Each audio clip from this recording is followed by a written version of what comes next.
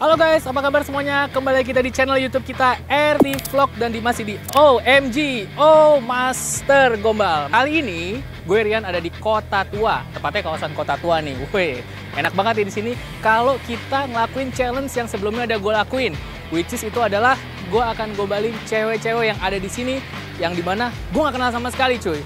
Berapa banyak cewek yang bakal gue gombalin dan seperti apa reaksi mereka ketika mendengarkan gombalan gue. So, tanpa panjang-panjang lagi, kita langsung cabut!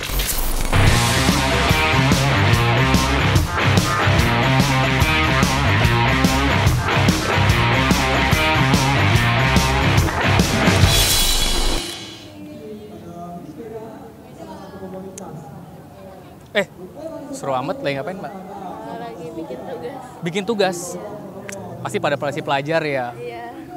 Mbak tahu nggak mbak, pelajar itu ngingetin saya kan sesuatu. Buat lebih belajar lagi, untuk lebih mencintai kalian berdua. Pun aku merasakan getaranmu mencintaiku seperti Oh my god, Mbak Nisa Sabian kan ya? Iya nggak sih?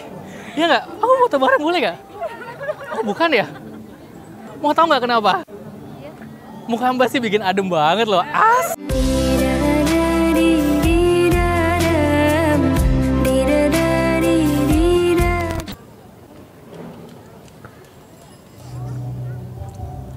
Mbak tahu nggak bedanya Asian Games sama Mbaknya apa? Nggak tahu emang bedanya apa? Kalau Asian Games itu Energy of Asia.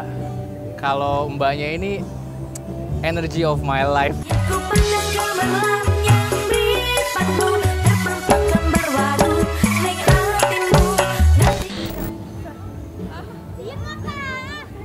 Halo Mbak, Ya? lagi foto-foto ya Mbak ya? Ya. Mbak ke kota naik apa? Naik kereta. Berarti kakinya nggak kenapa-napa dong.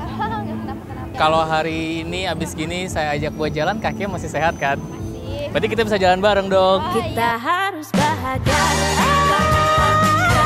Kita harus bahagia. Oh, oh, oh. Hai Mbak, sore. Lagi jalan-jalan ya? Iya. Pulang kerja ya? Ah, Mbak siapa namanya? Tessa. Tessa sama Hana. Hana. Oke. Mbak Tessa tahu nggak bedanya Garuda sama Mbak Tessa? Nggak tahu. Kalau Garuda itu di dadaku, kalau Mbak Tessa di hatiku.